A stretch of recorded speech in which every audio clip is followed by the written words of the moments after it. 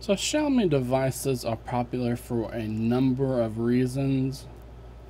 They are very affordably priced, especially for the hardware inside the phone and the build materials. Like you will get actual a metal phone at an affordable price when other companies will use plastic or other inferior pieces of hardware inside the phone.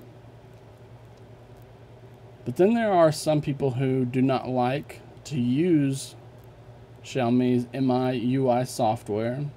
It could take a while to get used to. I'm personally not a fan, so I like to flash a custom ROM to the device. The process of unlocking the bootloader of these Xiaomi devices has gone back and forth for a while. It originally required you to request access and you would get a response within three days if you were very active on their forum or you would get a response much later if you were new or not that active. Then there was a process that you didn't have to wait. I had unlocked after I unlocked that unlocked that first one. I had unlocked two Xiaomi phones and didn't have to wait at all. Now the latest Xiaomi operation is that you must wait 360 hours after initiating the process. And that's what today's video is going to be. It's going to be part one of how to unlock the bootloader of the Xiaomi Redmi 5 and the Xiaomi Redmi 5 Plus because I have to wait 15 days for them to complete this and this is a very important video that everyone needs to know. Anyone that wants to do this will want to do part one of the video as quickly as possible so that at, when that 15 days comes up they can go and watch the part two video of that. So that's what I'm going to show you how to do today. It really sucks that Xiaomi does that, but this is the process of how to begin the bootloader unlock process. If this is your first time unlocking a Xiaomi phone or tablet, you're going to need to go to Xiaomi's website and create a Mi account. That link will be included in the full tutorial on my website, which again is linked in the video description. You're going to need to create that account, and then you're going to need to confirm that account. Sometimes they do this via email, sometimes they do this via SMS approval. You're just going to have to wait to until Xiaomi goes through with the approval process. Once you have gained approval, then we, we have a active Mi account and we need to sign into that account on this device. Now once you have logged into your Mi account, you're going to see the sync option on and you're going to see the find device. You're going to need to find turn on the find device, which requires you to enter your password just to make sure that you are the person who owns this device and that Mi account.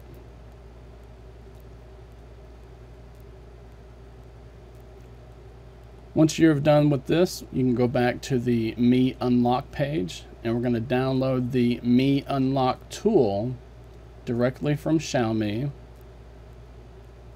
and we can extract that zip file anywhere on our computer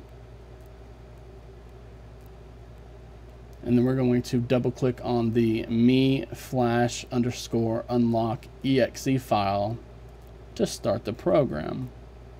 I've logged into our Mi account. You need to do a little bit more. You need to make sure that we enable developer mode. And we do that by going into settings, going into my device. It's a little bit different for this uh, Xiaomi devices because we need to go and we need to tap on the MIUI version a whole bunch to become a developer. Now to get into the developer options menu, we need to scroll down and tap on additional settings. And there we see developer options. Now, we, again, we need to assign this account, our account, to this phone. So we can tap on the OEM unlock option. Tap on the Mi Unlock Status option. And then it's going to tell us to add the account, our account, to the device.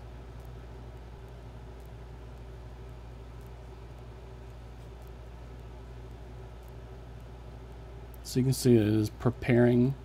And if everything's good, it'll say added successfully. We can do that again. Added successfully your account to this device.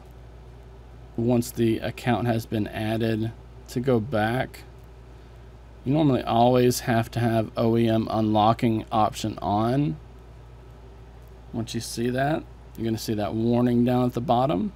So we're going to tap on enable. So now we can continue with the actual bootloader unlock process. Once we open up this Mi Unlock application, it's going to give you some, some warning about what happens when you unlock your device, how that it can reduce the security of your phone, if you're wanting to unlock the bootloader to install something like Lineage OS, you know the risks that are involved. If not, just make, make sure that you know everything that's listed here. And we're going to click on agree. And then once again, it's going to ask us to sign into our Mi account.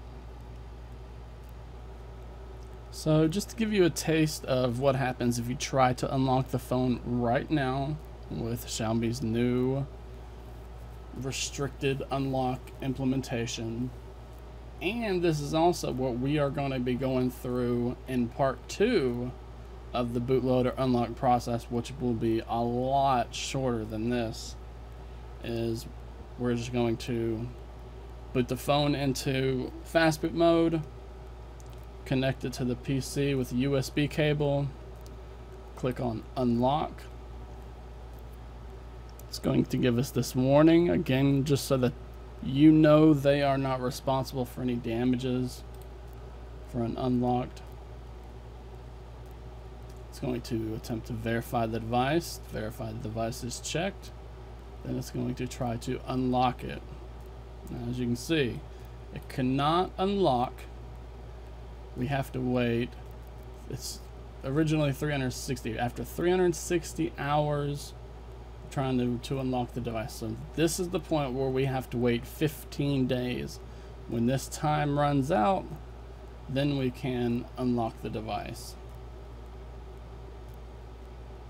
And that is part one of how to unlock the bootloader of the Xiaomi Redmi 5 and the Xiaomi Redmi 5 Plus.